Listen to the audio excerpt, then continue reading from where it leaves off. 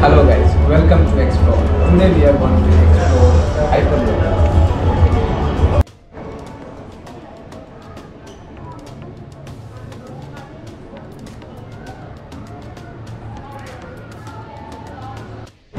So the way it works is that there will each capsule is direct to its destination. Okay. So that means all you have to do is sit in the capsule to where you want to go. So for example, one capsule will be going to, for example, Abu Dhabi, one capsule Paris, one capsule Shanghai. So each of these capsules will have 28 seats Okay. and all of these seats they are made from recyclable and renewable material. The entire thing inside it's made from recyclable and renewable materials so that we can make sure the future ahead is very sustainable and very green. Second thing is that the way it works is it has electromagnetic levitation on the top Okay. and it's in a near vacuum canal. So it's kind of similar to that model if you can see there. Okay. Yes. So because it's a near vacuum canal, that means no air. No air inside the vacuum. Yeah, exactly. No air. That means no air resistance, right? Uh-huh. No friction. Mhm. So you're moving as fast and as smoothly as possible. Okay, fine. So it's basically it's electric, right? Yes, Basically it it's electric. Electric, electromagnetism. Electromagnetism. There will also be solar power on the top for not all the time, but Sure. the main thing is electromagnetism. hmm Is it the work is started in Dubai to Abu Dhabi already there or in future we are going to start? Not yet from Dubai to Abu Dhabi. So the first, which so this technology, it's still under works. Like it's still Under under testing. Okay.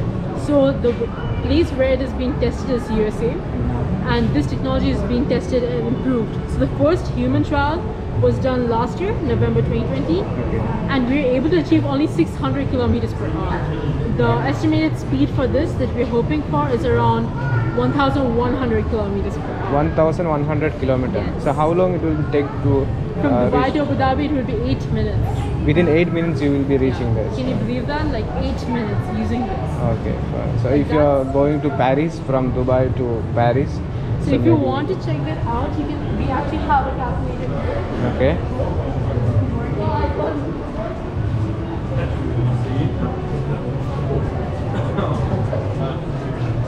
Example, I think someone tried to find this from Okay. Dubai to Trishur, Mhm. and it will be 10 hours 24. The thing is that the Hyperloop is mainly on land. So Dubai to Trishur, how long it will take? it will take 10 hours and 24 minutes. Within 10 hours you will take. Yes. Okay. But so uh, okay. hopefully, it's- if it's within you know similar countries or between near countries, it will take less. So So you can try if you want. origin put Dubai. Dubai. like that. Okay. Destination could be Jeddah, Saudi Arabia. Okay. So it would take two So- hours and 22 minutes. 2 hours and 22 minutes to Dubai to Jeddah, Saudi Arabia, right? So normally by plane it would take two hours and 15 minutes. Okay. By, for example, any rail lines that you have, high-speed rail would take nine hours. Okay. Car would take around 19. Yeah. Virgin Hyperloop, is it uh, the company is Yes. So the design, the technology is from Virgin, the company Virgin. However, we as DP World, like this is a pavilion, right? Okay. So DP World, it stands for Dubai Ports, and we are the ones investing in this technology. okay? So the technology, the design, the materials is from Virgin, but we are investing. Investing. We want to make sure that it happens here in Dubai. Okay.